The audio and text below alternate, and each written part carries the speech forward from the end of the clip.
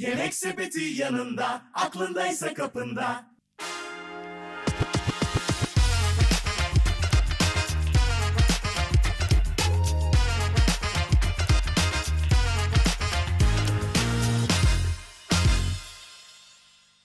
Merhaba ben İnan Mal'ın sahibi Hasan İnan. Aynı zamanda Yemek Sepeti Mahallede esnafım. Bugün sizlere balıklar nasıl temizlenir, nasıl ayıklanır onları göstermek için geldim. Hazırsanız başlayalım.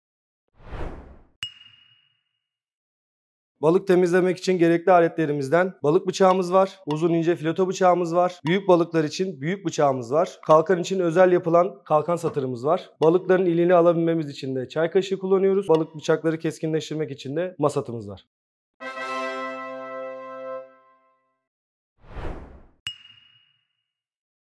İyi bir hamsi görüldüğü gibi zaten kendisini belli eder. Bekledikçe kulakları kızarmaya başlar, solmaya başlar, yumuşamaya başlar ve karınları patlamaya başlar. Gördüğümüz gibi hamsilerimiz taze. Bu hamsiler yerli hamsi dediğimiz Marmara hamsisi. Hamsinin nasıl ayıklandığını da şimdi sizlere göstereyim. Öncelikle hamsinin kafasından sıktıktan sonra aşağı doğru çekip parmağımızı buraya takıyoruz. Hamsi ayıklamakta en önemli şey şuradan kanını alırcasına kuyruğuna kadar çekersek balığın içini tamamen temizlemiş oluruz. Hamsiyi kılçıksız yapmak istiyorsanız mısır ununda tavada özellikle unladıktan sonra kılçığı daha çabuk çıkar. Özellikle taze hamside kılçığı çıkarken balığın eti dağılır.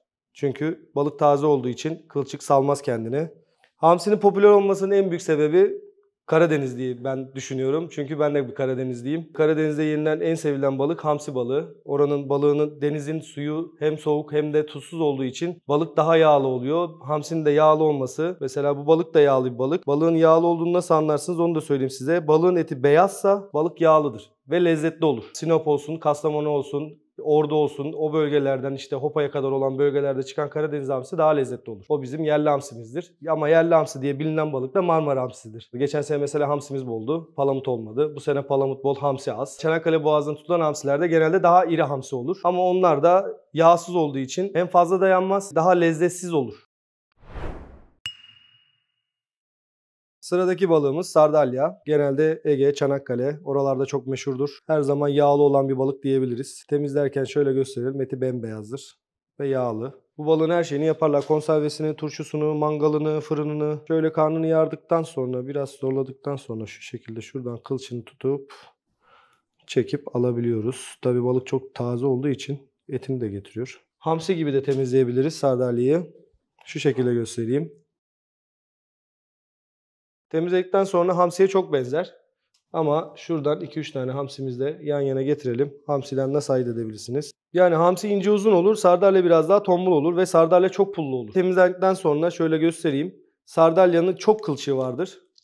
Karıştırılmasının sebebi aslında sardalyayı hamsi diye satıyorlar. Çünkü sardalya daha boldur genelde hamsiden. Veya hamsi kasalarında sardalya karışık çıkar. Sardalyayı ayırmazlar. Hamsiyle beraber karışık satarlar. Genelde pazarlarda böyledir yani. Pazardan uygun balık alırsınız. Hamsi aldım dersiniz ama yarısı sardalya çıkabilir. Özellikle biz mesela ayıklarız.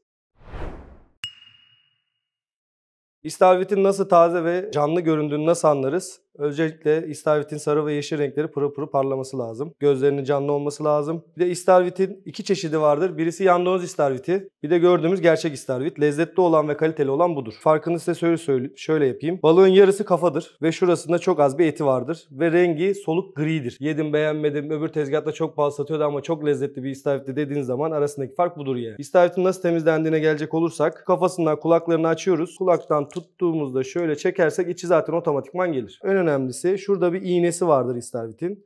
O istavrit zaten elinize batmayacak şekilde böyle hissedersiniz. Şu iğneyi göstereyim. Şöyle çıkarttığınızda bunu neredeyse yıkamanıza bile gerek yok. Bütün kanıyla gelir. Bu sene istavritin olmamasının sebebi kayıkların hepsinin palamutta olması. Çünkü palamut şu an denizlerimize bol olduğu için garanti gördükleri için bütün kayıklar palamuta gidiyorlar. E, istavrit de tutulmayınca az oluyor. Az olunca da kıymetli oluyor. İdeal boyu istavritlerde genelde bu boylar. Şu boy göstereyim.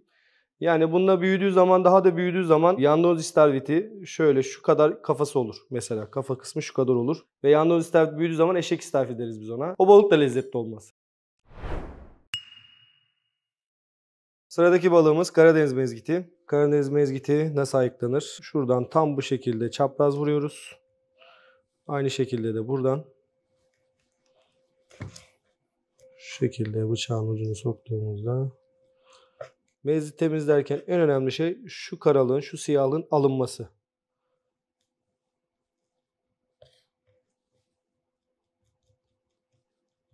Bu havyar normalde Karadeniz mezgitinde genelde havyar çıkar. Havyarlı balık diye de bilinir halk arasında. Ama tabii şu an tam havyar zamanı olmadığı için havyarlar daha gelişmemiş. Şu çıkan mesela havyardır ama ufak.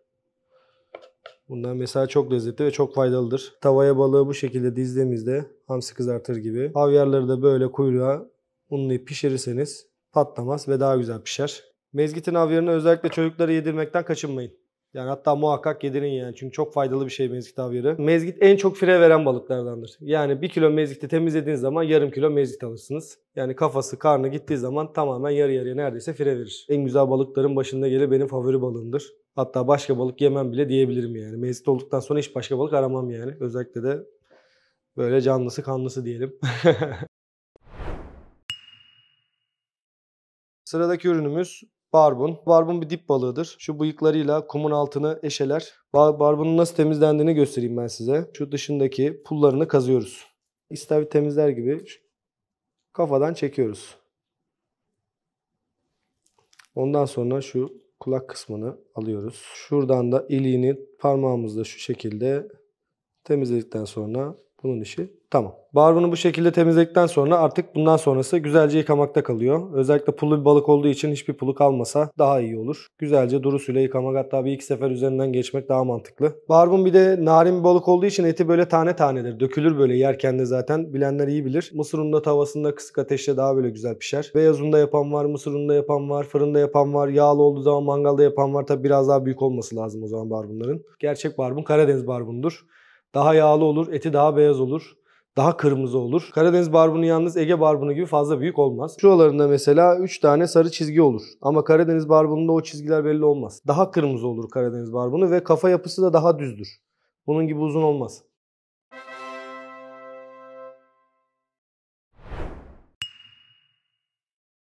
Sıradaki balığımız boğazın incisi lüfer. Lüfer nasıl temizlenir? Lüferin de üzerinde az da olsa bir pul vardır. Şöyle pullarını sıyırırız. Lüferi diğer balıklardan ayıran en büyük özelliklerinden bir tanesi lüferin yanağında da et vardır. Şu kısmı hep ettir. Çoğu insan bunun yanağını bayılır. Şuradan şöyle bıçakla vurduktan sonra şuradan iki kolun arasından ondan sonra şuradan parmağımızı takıyoruz. Üstten parmağı çıkarttıktan sonra şu şekilde çekiyoruz. Lüferin yağlı olduğunu nasıl anlarız? Gene her zamanki gibi etinin beyaz olmasından, sırtının kalın olmasından ve tombul olmasından diyelim. Şu içinin kalını almak çok önemli. Lüferin şu an bu kadar kanının akmasının sebebi balığın çok taze olması. Hatta kanı donmamış bile. Yani şunun suyu vurduktan sonra zaten burada artık hiçbir şey kalmaz. Bembeyaz olur. İsterseniz bir su vurayım. Temizledikten sonra en sonda şuradan yanlardan şöyle bir çizgi atarsak şu şekilde balığın içi daha güzel pişer. Aynı zamanda çinekopun sarı kanadın büyüğüdür. Bunun da büyüğü daha büyüğüne de kofana denir. Aynı balıktır. Büyüdükçe ismi değişir. Yağlı olduğu zaman mangalı güzel olur. Tavası güzel olur. Filotosu güzel olur. Filoto şekilde tavada yapabiliriz. Ben bir de öyle göstereyim size isterseniz. Aynı balığı şu şekilde şuradan şöyle girdiğimizde şu şekilde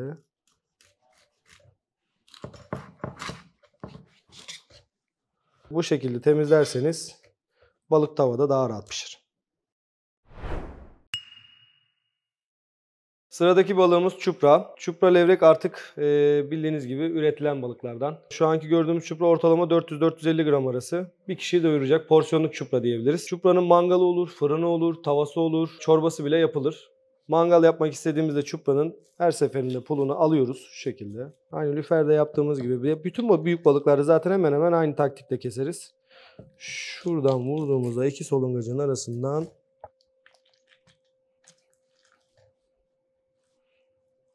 üretme balıklarda en çok karşılaştığımız problemlerden bir tanesini şimdi size göstereyim. Mesela şu balığın içindeki yeşilliği görüyorsunuz. Bu balığın yeminden. Eğer bu yeşilliği almazsak bu bildiğiniz acı tat yapar. Yani tamamen kazımamız lazım. Etine bile işlemiş. Hepsinde olmaz.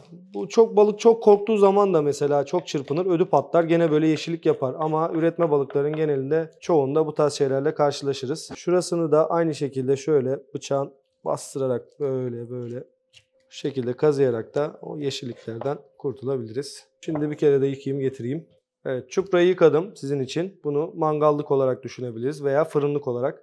Şöyle üzerine de birer tane çizik attığımızda fırında ve mangalda yapmak istediğiniz zaman çuprayı bu şekilde temizliyoruz. Şimdi size tavalık çupranın nasıl temizlendiğini göstereceğim. Evet bu çupramızı da yıkadım. Çuprayı tavalık yapmak istersek şu şekilde kuyruktan şöyle bir taktik vereyim size. İlerlerken zaten kemiğini hissedeceksiniz. Hafif böyle bıçağı bastırıp böyle bıçağı eğer gibi vurduğunuzda çok daha rahat tavada daha rahat pişer, daha güzel pişer. Bir de size çorbalık çupra nasıl temizlenir son olarak da onu anlatayım. Bu sefer pullarını almıyoruz. Önce bir şöyle kafaya doğru çapraz giriyoruz. Aynı şekilde de şuradan kafayı tamamen koparıp atıyoruz. Pullarını almamamın sebebi derisini çıkartırken daha kolay çıkması. Ben bunu bir kere daha yıkayayım öyle geleyim. Evet şimdi aynı şekilde yine filotomuzu yapıyoruz. Şu şekilde şuradan yan kılçıklarından şöyle girdiğimiz zaman derisini çıkartmak için de şuradan bir iz yapıyoruz. Parmağımızla şuradan bastırıp yavaşça derisi çıktı.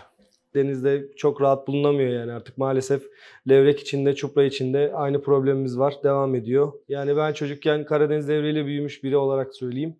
Yani öyle levrekler yiyemiyoruz, bulamıyoruz yani. Yok maalesef yok. Deniz çuprası diye satılan balıklar aslında deniz üretimi balıklar. Yani bunun orijinali bu. Denizin ortasında havuzlar var. Onun içinde işte bu balıkları üretiyorlar. Boy boy ayırıyorlar. Ona göre satıyorlar. Levrek için de aynı şey geçerli, çupra için de.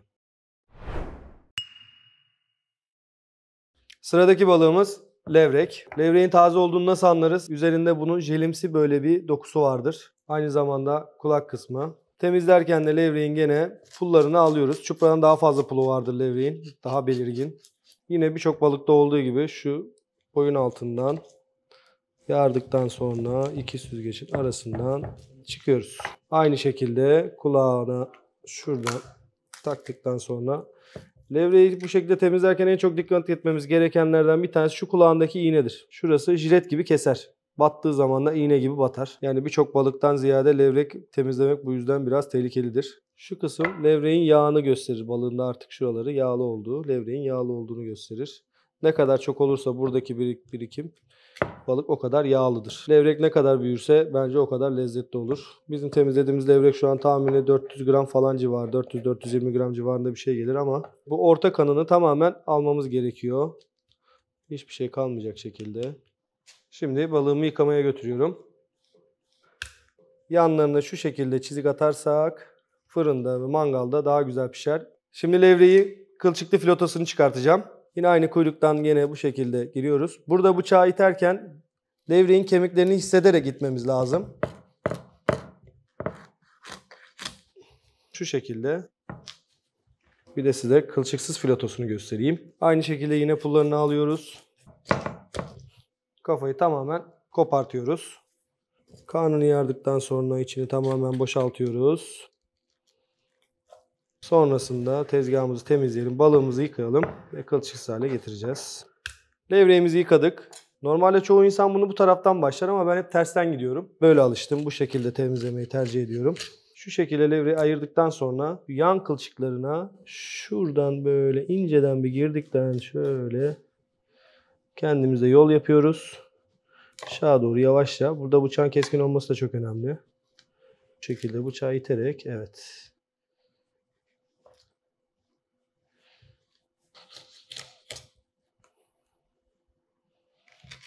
Levreğimizi kılçıyor ama bunda da birçok et vardır. Yani tava yaparsanız özellikle bunda mısır bulayıp veya beyaz una bulayıp pişirebilirsiniz. Hatta pişirdikten sonra şunu şöyle çektiğinizde direkt gelir. Etini ondan sonra çok rahat yiyebilirsiniz. Aynı şekilde bunun da kılçıklarını, yan kılçıklarını alalım. Artık levreğimiz kılçıksız levrek. Güzel bir balıktır. Özellikle yağ, yağlısı muazzam olur. Fırını olur, mangalı olur, tavası olur, bulaması olur. Yani meze şeklinde kullananlar bile var. Birçok şeyi vardır. Yani levreyi o yüzden çok insanları tercih eder. İnsanımız sever, biz de severiz. Çoğu insan da sever.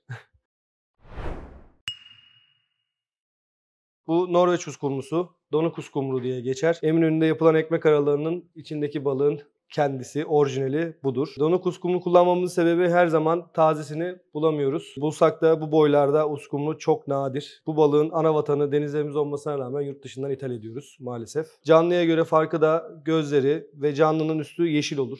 Daha parlak olur.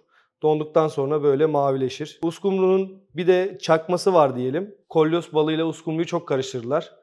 Uskumru ile kolyosun arasındaki farkı da şöyle göstereyim. Şu sırtındaki dalgalı dalgalı olan benekleriyle kolyosun düz olur. Uskumru'nun gözleri küçük olur, kolyosun gözleri daha büyük olur ve uskumru'nun tek bir farkı daha var. Uskumru'nun eti beyaz olur ama kolyosun eti de siyah olur. Uskumru'nun kafasını tamamen alırız. Şu şekilde göstereyim. Kılçıksız yaparız. Şuradan şöyle yarıyoruz. Artık çözülmeye başlamış. Yine aynı şekilde içteki kılçığını, kemiğini hissede hissede kesersek daha güzel bir filota çıkar. Bundan sonra yine aynı şekilde şuradan yan kılçıklarını alırsak şuralarını da alırsak artık bu balıkta kılçık yok. Şu orta kılçıkları da mangalda pişerken erir gider. Genelde ekmek arasına verdiğimiz zaman bile ekmek arası yaptığınızda veya kılçık yediğinizde bu şekilde direkt pişirip yiyebilirsiniz. Bu balık tavada hiç tavsiye etmem çünkü yağlı balık kendi yağıyla da pişebilen bir balık. Devamlı tedariği olan bir balık. Aynı zamanda da uygun bir balıktır diğer balıklara göre. Yani Eminönü'nde de yapılan ekmek aralarına konulan balık birebir bu balıktır yani. yani taze uskumrudan yapıyoruz falan diye öyle bir şey yok. Kesinlikle donuk uskumrudur. Norveç'ten gelir. İthal uskumrudur. Balık budur.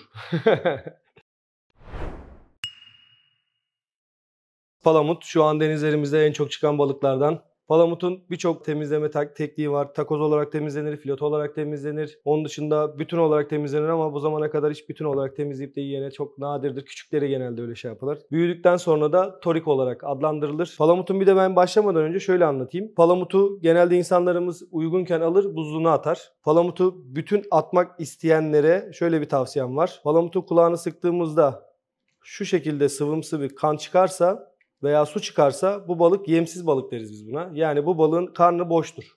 İçinde bir balık yoktur. Yani bu balığı bütün şekilde buzluğa atarsanız 3 ay, 5 ay, 6 ay hiçbir şekilde zarar görmeden tekrar çıkarttığınızda yiyebilirsiniz. Ama dediğim gibi tamamen kan akarsa ve balığın karnı doluysa bu balığın içindeki balık balığı çürütür. Yani çürütmese bile bu karın kısmını yemyeşil yapar yani acıtat yapar.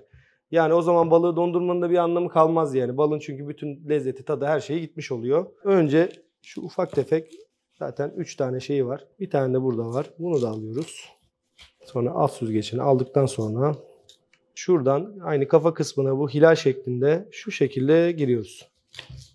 Şu şekilde alttan gene tam ortadan böyle geldiğimizde bakın palamutun içi boş. Dediğim gibi.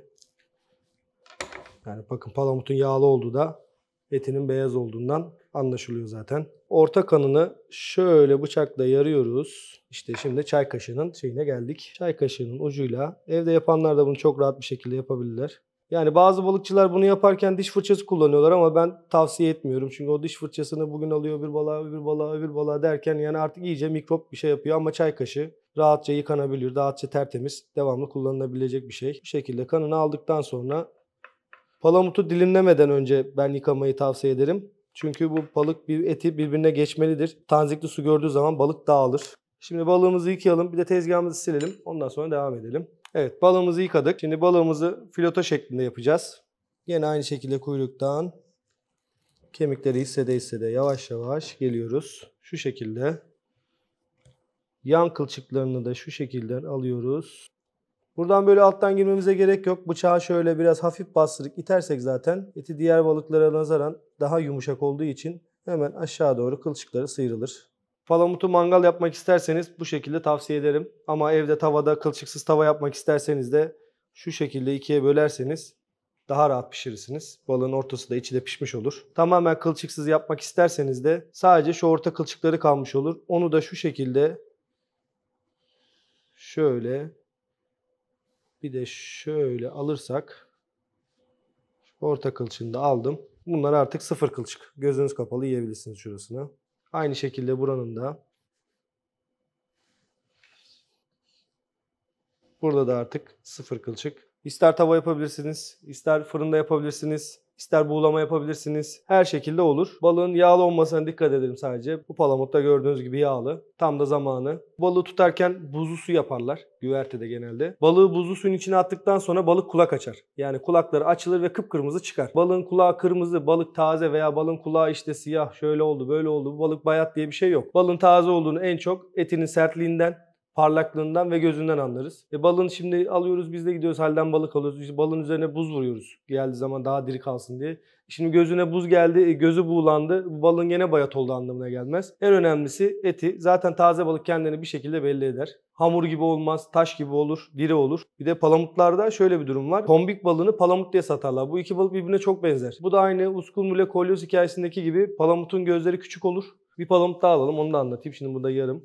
Palamutun üst çizgileri düz düz gider. Tombikte de benek benek. Buralarında böyle beneklerini görebilirsiniz. Kafası daha tombuldur. Eti de kıpkırmızıdır. Yani onun o balıkla bu balığın arasında uçurum orada fark edilir zaten. Palamutun verdiği lezzeti ve tadı hiçbir şekilde vermez. Yağlı palamut her zaman favorimizdir. Zaten halkımızın en çok sevdiği balıklardan bir tanesi. Hamsiden sonra bence palamut gelir. Her sene bir balık bolluğu yaşıyoruz. Yani geçen sene lüfer yaptı. Çok güzel lüferler oldu. Yani bol lüfer bolluğu vardı. Bir önceki sene hamsi bolluğu vardı. Ondan önceki sene gene palamut bolluğu vardı. Bu sene de palamut yaptı kafadan. Yani bu balığı da büyüten yağmurlar diyebiliyorum ben. Yani büyüyor büyüyor torik oluyor. Bundan sonra da toriye geçebiliriz.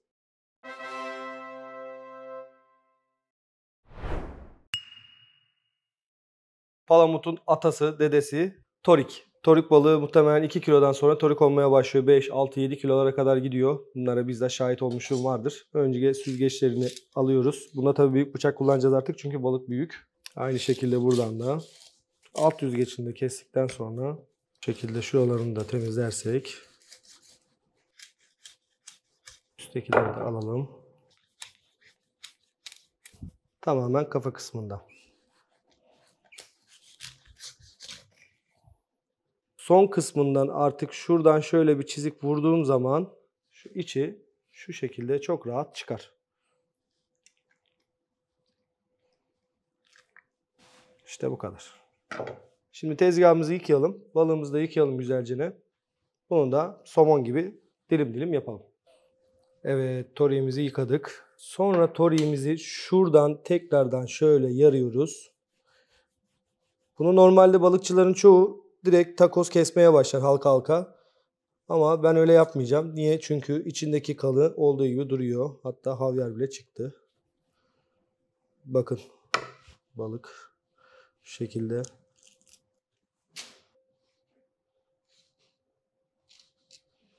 Burada çay kaşığımız tekrar devreye giriyor. Balığı tekrar yıkamam gerekecek. Evet bundan sonra artık dilimlemeye başlayabiliriz balığımızı. İlk dilimi şöyle biraz genişten alalım. Şöyle gördüğünüz gibi şu şekilde. Tahmini bir parmak. Halkaların kalınlığı.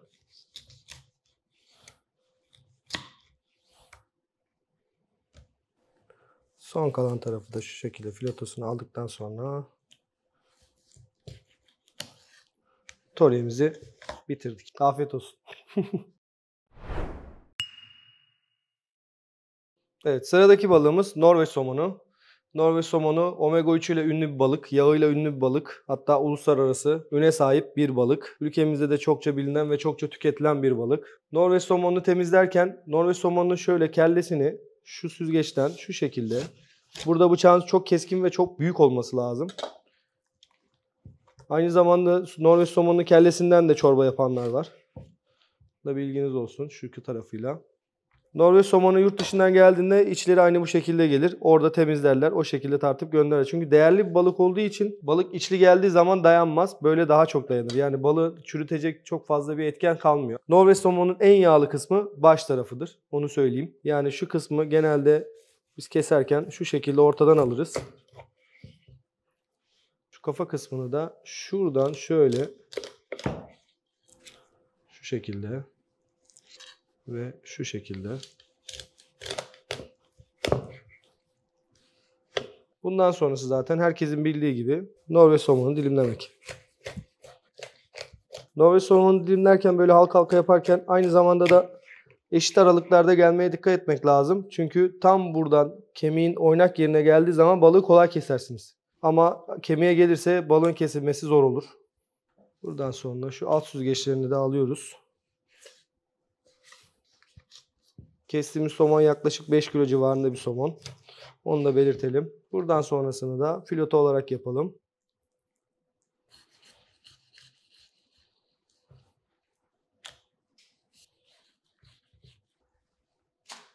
Evet, Norveç somonu da böyle temizlenir. Evet, sıradaki balığımız Karadeniz kalkanı. Yaklaşık 2,5 kilo civarında erkek kalkan. Taze, kıpkırmızı, nar gibi kızarmış. 10 numara hatta şu an denizlerimizden çıkan en iyi kalkan diyebiliriz. En değerli balık da diyebiliriz. Bu kalkanı yakaladıktan sonra fırça vururlar. Yani bizim bildiğimiz plastik halı fırçalarını böyle balığın üzerine sürterler. Balık da kendini sıkar sıkar sıkar. Nar gibi kıpkırmızı olur. Balığın eti kolay kolay bozulmaz. Kalkanın eti ne kadar sert olursa, ne kadar böyle kırmızı olursa o kalkan her zaman daha kaliteli kalkandır diyebiliriz. Şimdi kalkanımızı temizlemek için özel satırımız var. Satırımızla geldik bugün. Kalkanın öbür tarafını da göstereyim size şu şekilde. Şöyle gösterelim ve başlayalım. Kalkanın yarısından çoğu kemik olduğu için kesmesini öyle çok basit bir balık değil. Zorlayacak. Yani bu balığı alırken kesinlikle evde temizlemeye kalkmayın derim. Balığımızı tahtaya aldık kaymaması için. Keserken daha rahat keselim diye. Şimdi kuyruk kısmından dilimlemeye başlıyoruz.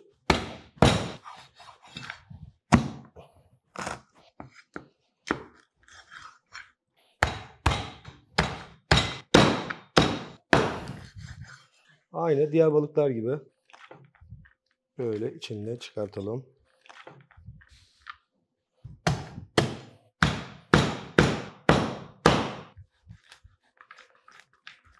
Evet kalkanımızı dilimledik. Bundan sonra artık küçük küçük porsiyonlar haline getirmesi kaldı. Şu uzun olan yerleri şu kalkan satır şey kısmından